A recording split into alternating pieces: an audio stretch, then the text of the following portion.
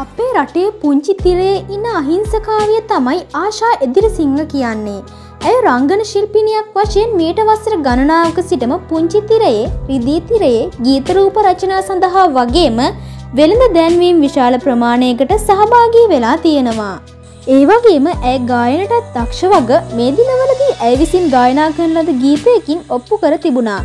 ඉතින් පසුගිය දිනයකදී ඇය තමන්ගේ ආදරණීය මෑණියන් සමග ජීවිතයට ඉඩ දෙන්න වැඩසටහන සඳහා එකතු වෙමින් මේ විදිහට තමන්ගේ අදහස් දක්වා සිටියා. මම උසස්පෙළ ඉවර වුණ ගමන්ම තමයි කලා නිර්මාණ සඳහා සහභාගී වුණේ. ඒක නිසා ඒ කාලේ මාව ගොඩක් අය දන්නවා. කොහොම හරි මම කැම්පස් එකට යන්න කලින් අයියලා අක්කලාගෙන් ලියුම් පවා ඇවිල්ලා තිබුණා.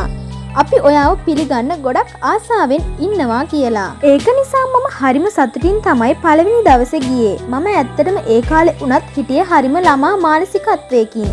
චූටි කොටගවුමක් ඇඳලා පැත්තකින් බෑග එකත්දාගෙන අනිත් පැත්ත වතුර බෝතලේ එල්ලගෙන තමයි කැම්පස් එකට ගියේ. ඊට පස්සේ අයියලා අක්කලා මට කතා කරලා හරිම තද විදිහට කිව්වා මේක ඉස්කෝලයක් නෙවෙයි.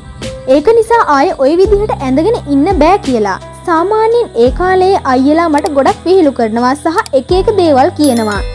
ඒක නිසා එක දවසක් මම ඒකෙන් බේරෙන්න ඕනි නිසා කැම්පස් එකට අම්මවත් එක්කගෙන අම්මගේ අතේ එල්ලිලා ගියා. ඊට පස්සේ මම යනකොට අයියලා ටිකක් පේලියට ඉඳගෙන හිටියා. ඒ වෙලාවේ නිකම් hina වුණා.